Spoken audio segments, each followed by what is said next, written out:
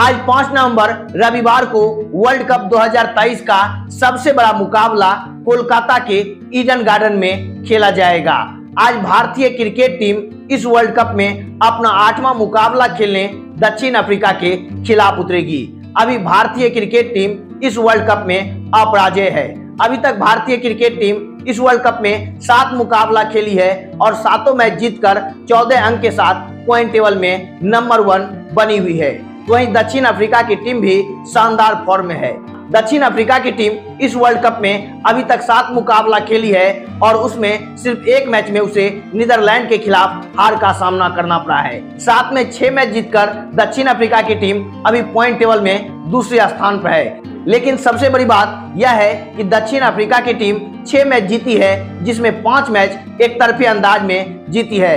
Australia जैसी team को भी दक्षिण अफ्रीका ने एक तरफी अंदाज में इस टूर्नामेंट में हराया है। सिर्फ़ पाकिस्तान की टीम ही दक्षिण अफ्रीका को थोड़ी सी टक्कर दे पाई। इसलिए आज जब भारत की टीम दक्षिण अफ्रीका के खिलाफ ईडन गार्डन में उतरेगी तो यह मुकाबला रोमांच से भरा होगा।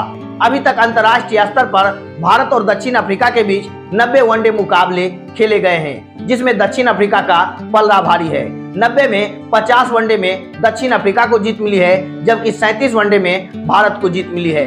अगर हम वर्ल्ड कप की बात करें तो वर्ल्ड कप में अभी तक दोनों ही टीमें एक दूसरे के खिलाफ पाँच बार उतरी है और यहाँ भी आंकड़े दक्षिण अफ्रीका के पक्ष में है।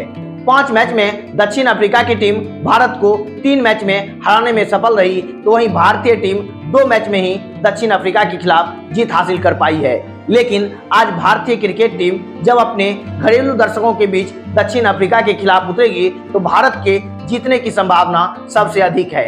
आज ईडन गार्डन में बारिश का पूर्वानुमान नहीं के बराबर है। इसलिए आज यह मुकाबला पूरा का पूरा खेला जाएगा।